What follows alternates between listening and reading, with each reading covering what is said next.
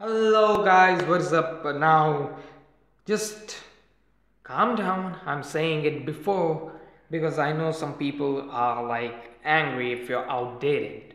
I'm not outdated, but this is a trick uh, that's actually uh, years years ago it came out, but I still love it and I got it. I got the hands on this only a few days ago, so I'm not uh, outdated. Okay, not that it's uh, uh, i would uh, leave it. I don't know what i'm saying sometimes. But just calm down okay? I know some of you will get angry. Anyways here's the effect and let me show it to you. So here i have a nut and a bolt. You can see? A nut and a bolt. And you can give this out for examination to some extent. That's right uh, it's not that they will eventually figure it out, but it's that maybe they're wearing something that will give away the effect. I've given a clue up there and I won't go much into it. So here's the nut and here's the bolt. You ask the spectator to bolt it like this. Is the camera on focus? Yeah, I think now it is.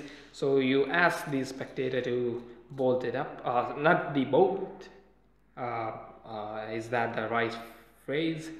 Till here and it will eventually stop because it's in hinge. And then you give this to the magician and he does this. He takes the nut, is the lighting proper? He takes the he, uh, nut and the bolt, he holds the bolt and he does this.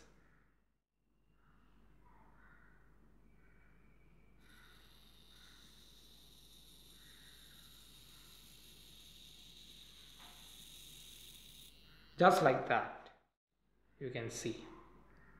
No matter how old you think this is and no matter how uh, how uh, uh, outdated you think it is I still love it. And by the way this is the first version. There's a, a 2.0 of this thing that is crazy. It's amazing and much more well built anyways that was the effect and uh, i hope you liked it or even loved it. I don't know. I don't give a damn.